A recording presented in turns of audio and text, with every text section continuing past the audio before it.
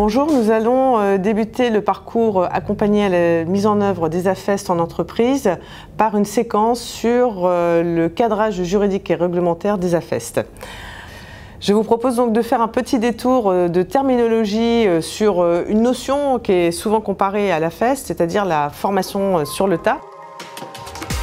Ce centre sur la formation, en effet, qui se passe en entreprise au quotidien, sans avoir été ni anticipé ni préparé en amont euh, et ça ne vise pas d'objectif d'apprentissage contrairement à la FEST qui euh, est donc euh, structurée et nous allons le voir à travers justement les décrets qui, qui posent les conditions de reconnaissance de la FEST comme action de formation. Donc nous avons dans ce décret quatre conditions. Nous avons celle d'une euh, nécessaire euh, qui est de faire une, analyse de l'activité. Euh, donc ça, c'est la première condition. la seconde, c'est celle de désigner au préalable un formateur avec une fonction tutorale. Et le cœur, je dirais, de, la FEST, c'est donc c'est la, troisième condition qui réunit la mise en situation de travail apprenante en alternance avec de la réflexivité. Et enfin, la quatrième condition, l'évaluation des acquis qui jalonne ou ponctue le parcours. Donc on voit bien que la formation et le travail ne font plus qu'un, mais sous certaines conditions. Alors pourquoi cette, euh, cette AFEST a été euh, reconnue comme euh, action de formation par, par l'État? Je vais faire un, petit point sur un rapide historique. Donc, il y a eu une expérimentation conduite par la DGFP de 2016 à 2018. Elle a regroupé une dizaine d'OPCO et 50 entreprises environ et 70 salariés. Et euh, donc ça a porté sur différents métiers, secteurs. Alors ça allait euh, du zoo en passant euh, par les métiers de l'hôtellerie-restauration, la gestion locative mais aussi auxiliaire vétérinaire, métallier serrurier, donc il y avait vraiment des métiers assez divers. Et il se trouve que comment, cette expérimentation a porté ses fruits puisqu'elle répondait à trois grands objectifs. Le premier, c'était de structurer les apprentissages, pardon, puisque euh, comme toute entreprise euh, de, que l'on trouve, euh, en effet, dans toute entreprise, il y a des apprentissages qui, qui sont faits. Ça, c'est une réalité, mais la FEST va apprendre à les, enfin, va permettre, pardon, de les structurer. Ça, c'était le premier, premier objectif de la FEST. Le deuxième, c'était de compléter un dispositif de formation existant. Et puis, le troisième objectif de cette expérimentation, c'était de renforcer une politique de certification de branche.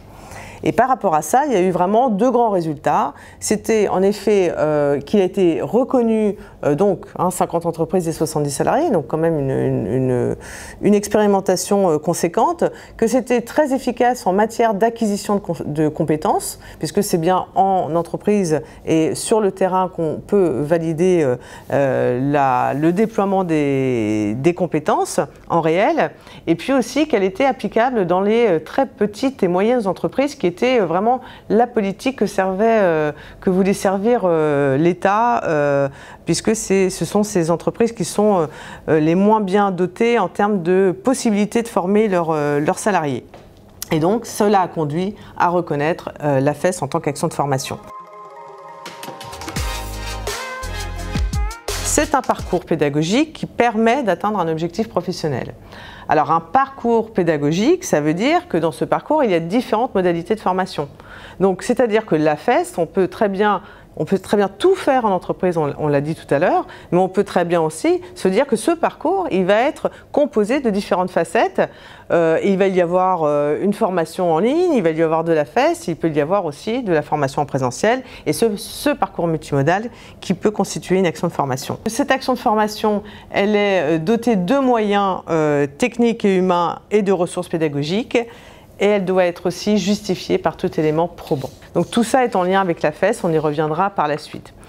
Voyons enfin, euh, au regard de ce qu'on vient de dire, que cette affaire, elle est composée de deux grands moments.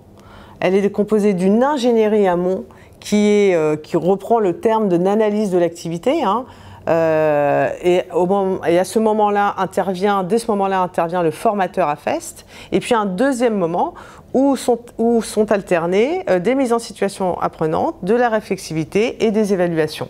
Et c'est vraiment ces deux grands moments qui forment une AFEST.